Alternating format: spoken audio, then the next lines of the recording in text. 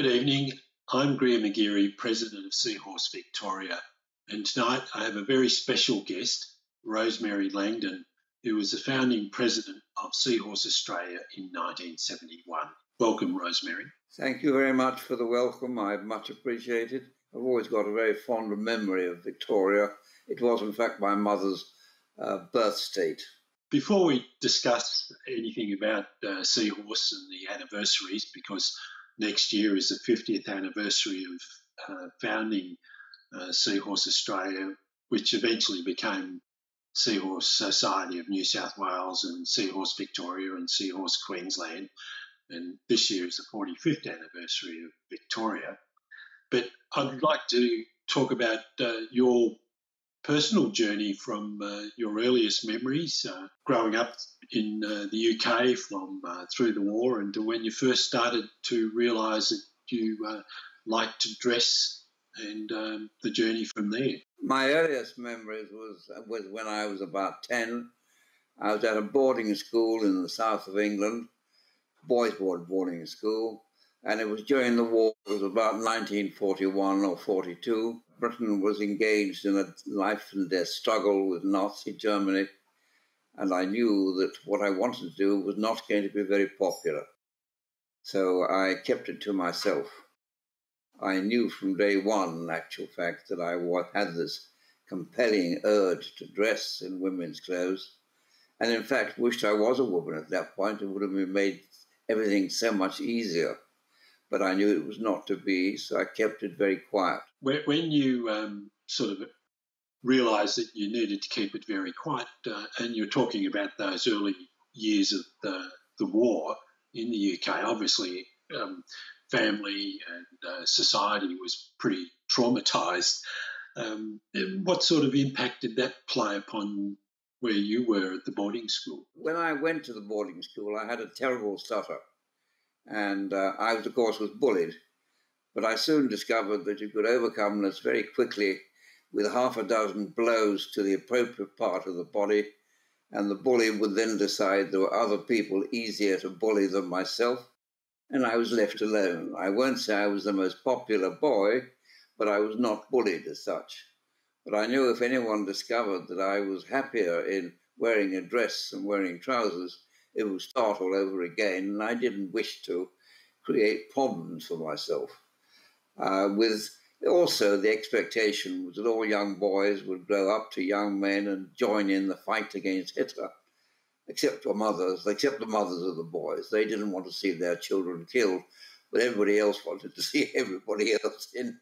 But um, I was only eight. I was only. Uh, I was born in. I was a depression baby, born in '31. So in 1941, I was only 10, and the war had ended in England before I went on to my secondary school. Obviously, schooling, and then you're going into your secondary schooling. Um, you know, the, that war, we obviously know that was very traumatic, but uh, how did secondary school uh, and your desire or your urge to dress um, combine? Well, I have to regretfully state that I still kept it secret. My one thing was to find somebody else. I couldn't understand why I was the only man or boy in the world that had this terrible desire and felt from all the time that there must be somebody else. But where were these mysterious people with this urge? I couldn't find. I chased around. When I was at, at my secondary school, I did discover two very vital things.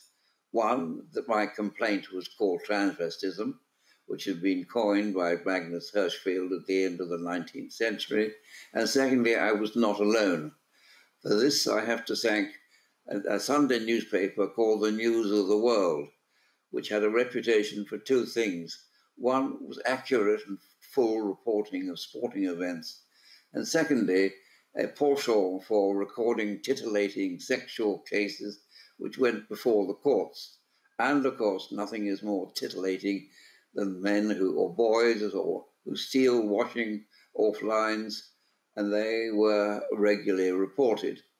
Everyone thought it was for masturbation, but I knew that there was among those theft thieves were in fact my fellow transvestites. Progressing beyond the school, you know, because now it's post-war, and mm. uh, you're getting into the rebuilding of uh, the UK and that. So the the personal circumstance, you know, the, the living arrangements, the general society, what was that like at the time? It was not good. I, um, Britain won the war, but to win it, they were totally bankrupt themselves.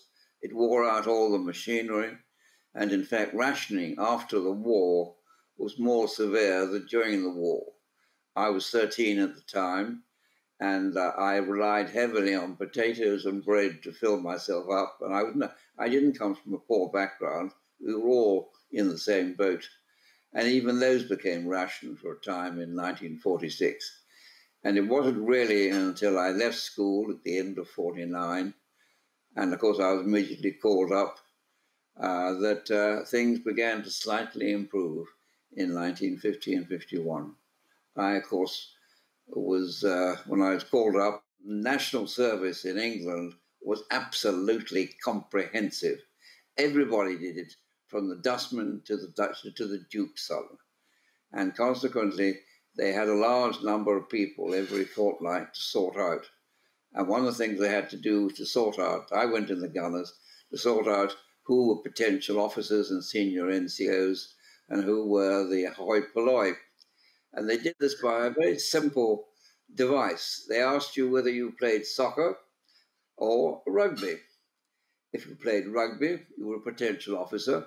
If you played soccer, you were a potential other rank. Now, this sounds eh, very strange, but you must realize that the public schools, which are in fact the private schools, which were originally designed to educate the public, uh, all played rugby with, with a few exceptions and the all the grammar schools, which were the educated uh, pri- uh, public schools, played rugby too. The others played soccer. So very quickly, in one uh, 10, one, two minutes, you could separate most of the potential officers. The worst are, however, some glorious exceptions.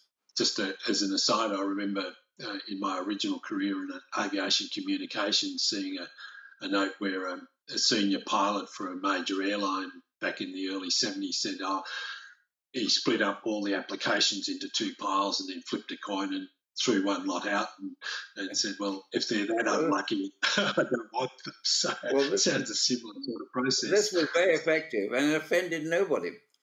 But um, there was an exception. Our school was one.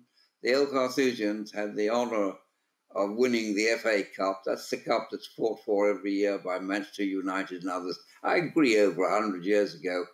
And also the Amateur Football Association Club, which they won again 100 years, but they also won it again last year. So there's a very strong soccer tradition in their school. So I went off and joined the hoi polloi. With um, homosexuality was illegal, much the same as many places in the world you know, we've seen in recent years with um, the story of Alan Turing and um, with the his uh, Turing machine, which is eventually the basis for most of our modern day computers. I, I understand that would have been in that early 50s uh, when he was publicly humiliated. And, it was a horrific situation. I'm afraid that the New South Wales Police Force was no better. Uh, I am glad to see those days are, be, be, are behind us, and I hope they never come back. He was honored later by his, his portrait was put on the, um, I think, the ten pound note, which I think is a, a fine tribute to a person who was in fact vilified during his life. You'd mentioned about being in the Gunners, so did that take you around the world, and where, if so, where did you end up? Well, I was selected for officer training, and I went to Mons Officer Cadet School at Aldershot. And it was there that I thought I'd better discover a bit more about Rosemary. I tried every public library, but the mention of the word sex and the librarian nearly fell, fell over backwards. And I felt that the only way I could get the information was by going to a public library of a university town. So I went to the nearest university town to Aldershot, which is Reading, went there, looked up sex, and my delight, I found there was a book by Havelock Ellis, The Psychology of Sex, looked it up, found no mention of transvestism, but there was a mention of Aeonism. And then I remembered Chevalier d'Eon, who was a courtier in the court of King Louis XIV, who was sent by him to uh, improve the relations between France and Russia. And he went to the court of uh, Catherine the Great. He went dressed as a lady and was very successful. When he came back, the usual reward, which was given to him, which, but he had to stay dressed as a girl, for a lady, for the rest of his life, which he did. So I looked that up, found the scene to cover me. Then I saw another book that said Cases in the Psychology of Sex by the same person. That definitely fixed it. The only difference between these worthy young men at the turn of the 19th century and me was they were obsessed with tight lacing, which was hardly surprising, bearing in mind they it was the done thing for the ladies of that time. So obviously you you're somebody who really made an effort to research um, where you were at and uh, noting that it was uh, termed as transvestism. You know, once you've done this research and then were you able to be more open about yourself? Not a hope in hell. For two reasons. One, that uh, 95% of the population of England had no idea what the word transvestism was anyway. Uh, as far as they were concerned, you were either heterosexual or homosexual. And if you dressed as a woman, you were homosexual. Therefore, I kept it very quiet right through that time. In your journey with the army, uh, did you end up uh, moving overseas? As soon as I was commissioned, I was sent to join the forces in Malaya against the bandits, which was since been known as the National Servicemen's War because most of it was fought by national servicemen.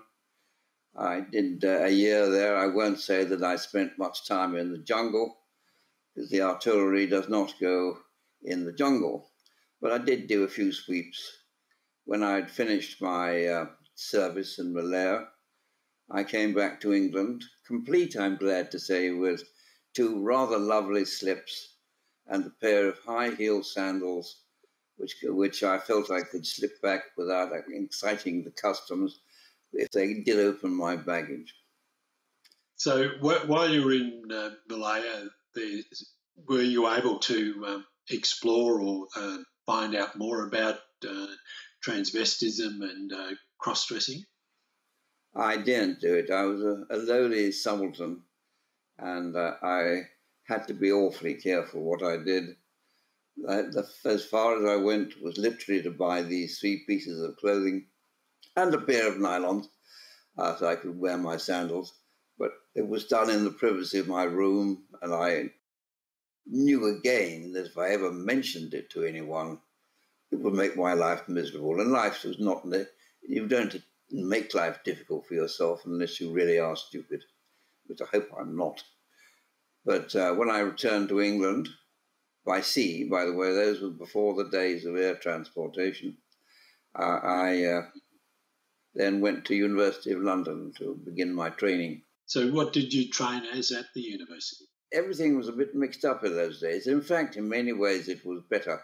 I'm a property man, is the best way of describing it. And the English qualification is a member of the Institute of Chartered Surveyors.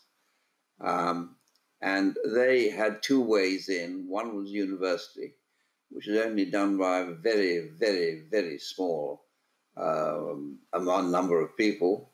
And you could only do it at Cambridge and um, London, the College of Management. Alternatively, you could have two years full time study, uh, and then you took two examinations by the institution they, they weren't giveaways. They hit on the, uh, the best way of reducing the number of people who qualified was to fail two thirds of everyone who took the exam every year at all exams. So you had a first examination, they failed two thirds after one year, the intermediate examination where they failed two thirds, and then you had to work and take evening classes or study and take the final exam, where they again failed two thirds. Now that you've sort of got through a career, um, had you left the army at that point, or uh, were you still um, in the army? Unfortunately, when I was in the army, an idiot in North Korea decided that he wanted to capture South Korea, and the British government promptly increased my 18 month service to two years, and to make sure I liked it, gave me another five years part time service in the Territorial Reserve, as it's now called. So I was in the army, but it was very useful. I had no money, and the army pay for camp was very, very good as far as I was concerned, and paid for a lot of my luxuries, such as a wig or a few dresses or other essentials of life, which I did do when I was living in London. And aside there, you talked about buying wig and other clothing. Is it um, what was the reaction from those play, uh, businesses that where you did go in to buy uh, items such as wigs and clothes? Obviously, it would be, be appear to be for yourself. Universally, I've never had any trouble with buying clothing. The only uh, the only firm in the whole world that ever queried me buying was, in fact, farmers in the city when I was rummaging through the lingerie bin in the sale, the lady in charge got very upset that I was doing it.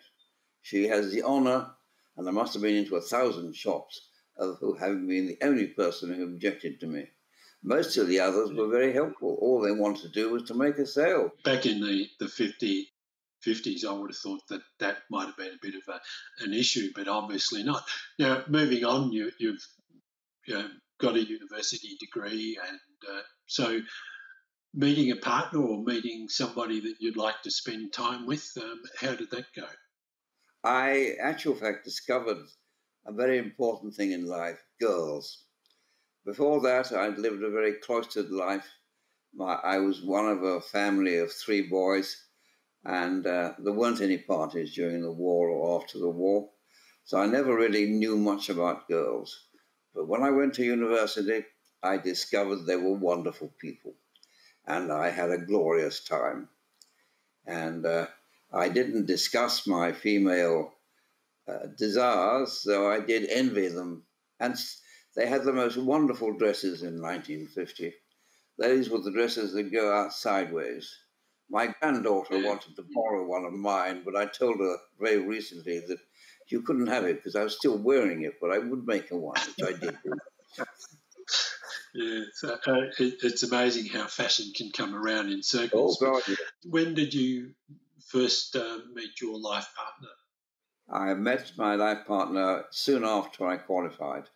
By that time, I had graduated from a motorbike, which is just as well. She had a disastrous habit of turning the opposite way when you went round a corner which would have put you in the hedge without any trouble at all to a motor car. I agree it's not the best of them. It was a 1937 Ford 8, and you could see the road underneath you. And when it rained, you had to put an umbrella up. Bearing in mind it was a saloon car, you can see it wasn't very waterproof, but it got me around, and it got her around. And we had a very fine time. As I said, she had lots of boyfriends. I eventually had to make my mind up. So I proposed. She, and she, of course, accepted. But there was a proviso, as always with my dear wife. We get the hell out of England as soon as we possibly can. She was born in East Africa, educated in, mm. in Kenya, and I didn't think much of the English weather. So I accepted that. It didn't worry me. When I was in Malaya, I had met up with fellow officers who had been in Hong Kong, among other places, and that seemed to be a good place to have a go at. She also suggested I try the Colonial Office. Her father was a Commissioner of Mines in Tanganyika, and she thought it was a good career, so I went and applied for a job. Hong Kong seemed the best of the boat of the available, so I put my application in and went off to do my camp. Once you start doing military service, part time, you continue with it. As I said, the money was good and you enjoyed the comradeship of your fellow officers. At what point did you um, start to tell your wife um, about your uh, urge and your transvestism? I have to regretfully state that I only told her about a couple of years after marriage that I, like so many other transvestites uh, or cross-dressers, had hoped and believed that once I got a real wife and I could have sex with her rather than in my imagination, that Rosemary and all her uh, desires would go away. And as we all found, it doesn't. And it was then when it came back, then I had to tell Jennifer, which I did. Did she sort of show any signs at the time when you told her of um, maybe wanting it to disappear, or was she much more accepting? Um, she was a nurse, and nurses are very sympathetic. They have all kinds of people they have to look after, and and uh, she realized, I think, from a very early stage that it was part of me. It was part of the man she loved, and by that time we were in Hong Kong and uh, it wasn't the place to make life make ways. So uh, we came to a, uh, a, conclusion. Her main problem was not that she disliked it, but she was terrified of someone finding out and embarrassing her. That was her only reason. So we, I came to uh, an arrangement with her that I would do, keep not embarrass her, and keep her. Um, happy, and she would let me dress in my in our own house, which is what I did. But I hadn't yet to meet another transvestite. How did you find life in Hong Kong compared to what you'd grown up with and uh, in England and the um, being in the army? Well, you must realise I come from a colonial family, and that it was perfectly normal for children to leave their family homes and go overseas in one place or another. We have a, an interesting career, an interesting background. My my great grandfather fought his uncle. He was in the British fleet that burnt down the White House, and my uncle married the stepdaughter of George Washington. So you could see they weren't on the same sides. And I hope it doesn't happen again because my granddaughter uh, is about to become an officer in the British Army, and her brother is, is an, an officer in the Royal Australian Navy. So I hope to God the two countries don't declare war, otherwise, it could be very difficult. What you have to realize is it's difficult now that when you went overseas, you went overseas for a tour of three and a half years. You had no leave of any, because you couldn't afford to go anywhere when you went to Hong Kong the, the biggest place you could go to was Macau, and then you only went about a couple of times. So you were very heavily dependent upon your fellow colleagues, and uh, and you were expected to knuckle down and do everything that was necessary. And the wives helped the wives, uh, particularly as most of, most of the wives had their first child while they were in Hong Kong. But uh, I had a an interesting time. I don't really want to get too heavily involved, except to say that uh, I was given a job when I went there solely because nobody else in the department would take it, was to try and sort out the new territories for the property wise. And everyone knew it was going to be a bloody awful job, so they kept clear of it until finally the government said, We'll send the next person out who gets off the boat before he knows what's happened, we'll send him out there. And you can guess who that was. I understand then you met some uh, a couple of interesting people from America. I met them later. What ha- what I was still continuing my search for the mysterious transvestite.